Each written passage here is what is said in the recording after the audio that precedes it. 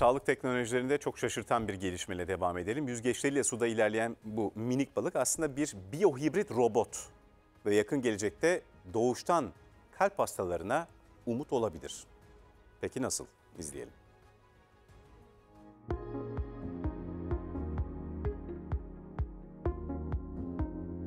Yapay kalp artık çok daha yakın.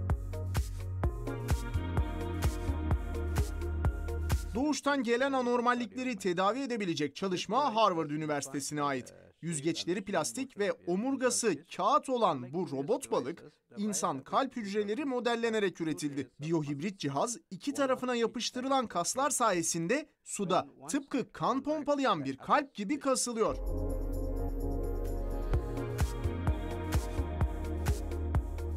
Dahası kalbin ritmi gibi 100 gün düzenli ve aralıksız hareket edebiliyor.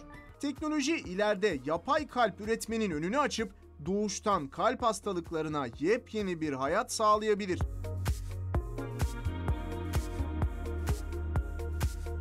Henüz kat edilmesi gereken çok mesafe olsa da gelişmenin insan kalp hücrelerinden gerçeğine olabildiğince yakın bir kalp üretmenin de kapılarını araladığı söylenebilir.